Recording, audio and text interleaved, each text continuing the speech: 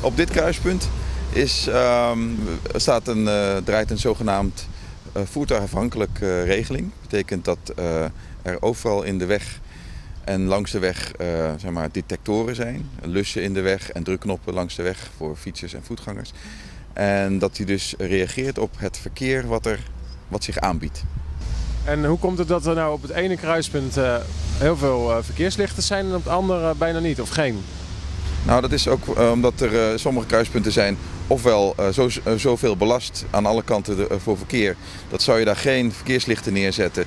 Dan zijn er verkeersdeelnemers die gewoon niet over kunnen steken. Fietsers en voetgangers bijvoorbeeld.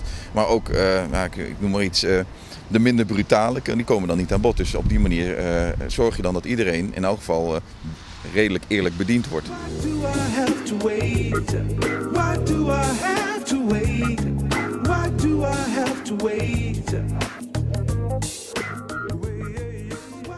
Als die tram eraan komt, dan gaan de verkeerslichten zo staan dat die tram door kan rijden. Dat is altijd, bijna altijd strijdig met, met een groene golf, om het zo maar te zeggen. Want een groene golf geeft vaste tijden aan. Want als, het, als bij dit kruispunt het verkeer wegrijdt, dan moet het precies uh, bij dat kruispunt aankomen als het daar groen is. Dan moet het kruispunt dus op groen staan. En dat verklaart ook andersom dat als ik hier sta te wachten en ik denk nu krijg ik groen en de tram komt eraan. Juist, precies. Dan breekt die tram dus in op jouw, uh, ja, de, de groentijd die je zou krijgen. En dan krijg je hem er daarna.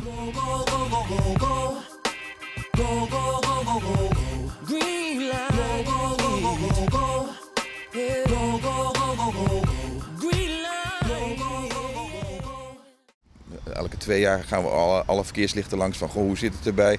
Uh, kunnen ze eerder uit? Kunnen, of moeten ze juist langer aan? Want er zijn ook wel eens buurten waar men zegt van goh, uh, mag het verkeerslicht niet uh, ook tijdens de schooltijden aan? want er moeten kindertjes oversteken. Nou, dat, bekijken we de situatie. Dan gaan ze ook overdag tijdens schooltijden bijvoorbeeld aan.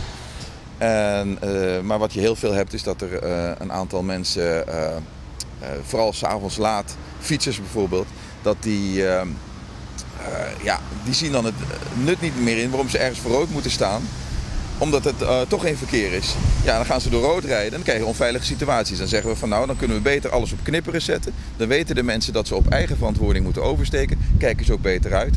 En nou ja, heb je een beetje de situatie dat, uh, teruggebracht dat mensen ook een beetje hun eigen verantwoordelijkheid nemen.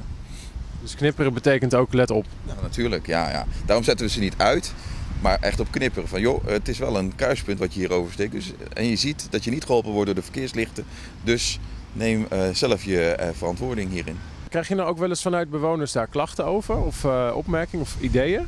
Nou, we hebben de, de vragen die we wel eens krijgen vanuit bewoners, zijn niet zozeer het feit dat het gevaarlijk is of iets in de geest, maar meer onbegrip.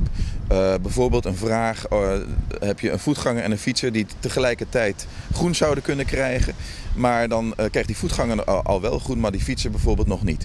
Nou, als je dan goed kijkt naar het kruispunt, dan zie je dat die voetganger twee zebra's achter elkaar heeft, twee oversteken achter elkaar heeft. zebra's zijn het hier niet, zijn die gewoon kanalisatiestrepen. Um, dus dan kan hij dat eerste stukje zagen, krijgt hij al groen voor. Dus dan kan hij al oversteken, want dan is er geen conflict. Terwijl die fietser moet in ene de hele dubbele rijbaan oversteken. Aan de andere kant van het verkeer rijdt nog. Dus die krijgt geen groen. Nou, zo'n fietser die ziet dus die voetganger naast zich. Hé, hey, die heeft groen en waarom heb ik geen groen? Nou, daar krijgen we wel eens vragen over. Nou, dan leggen we dat uit, hoe dat zit. En dan stapt men dat dus. Hoe, hoe leg je dat uit aan die mensen dan? Door ze dat ter plekke te laten zien of uh, op, een, op een plattegrond of iets dergelijks? Ja, wij, wij gaan soms wel eens, uh, als we de mensen te pakken kunnen krijgen telefonisch. En het is een vraag die toch heel handig is om gewoon ter plekke uit te leggen. Dan gaan we gewoon met ze uh, op het kruispunt staan. Dat doen we. En het is ook vaak um, heel aardig om te, om te merken dat mensen geïrriteerd zijn ergens over. Maar als je ze gewoon uitlegt hoe het zit, nou, dan vinden ze het heel leuk. En dan zijn ze heel geïnteresseerd. En dan, nou, dan merk je gewoon dat, dat die irritatie heel snel weg is.